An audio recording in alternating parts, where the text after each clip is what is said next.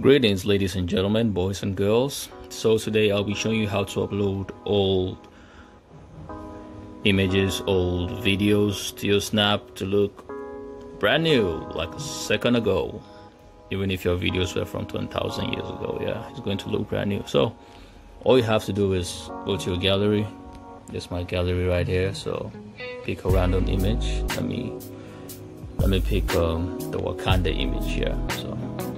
All you have to do is click on your share. Share it to your snapchat.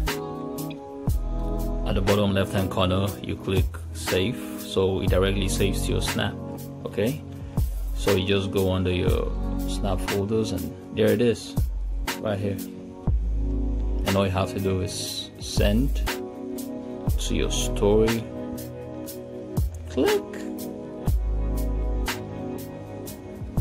All right Let's check it out.